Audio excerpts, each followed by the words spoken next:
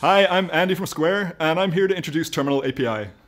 Square Terminal is an all-in-one credit card machine. It's built from the ground up entirely by Square.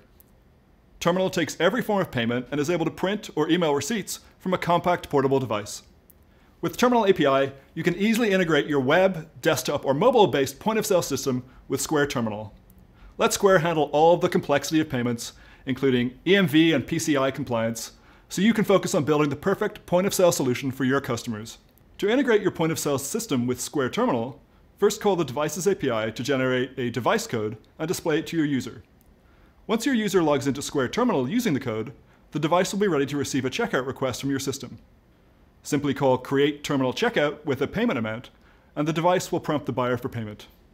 After the payment succeeds, we will notify you via webhooks so you can close the sale on your end. That's it. Visit our docs link below to get started with Terminal API. We can't wait to see what you build.